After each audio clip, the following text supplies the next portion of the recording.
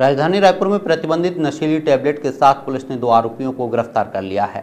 थाना न्यू राजेंद्र नगर क्षेत्र के अंतर्गत स्थित महावीर रोड सिग्नल पास मोटरसाइकिल में सवार दो व्यक्ति अपने पास प्रतिबंधित नशीली टैबलेट रखे थे और उसे बिक्री करने की फिराक में ग्राहक की तलाश कर रहे हैं। और आपको बता दें कि पूछताछ में व्यक्तियों ने अपना नाम सावंत कुली और देवनारायण साहू बताया है, जिस पर अपराध पंजीबद्ध कर दोनों आरोपियों को गिरफ़्तार कर न्यायिक रिमांड पर भेज दिया है। आरोपी देवनारायण साहू और सामंत कुली।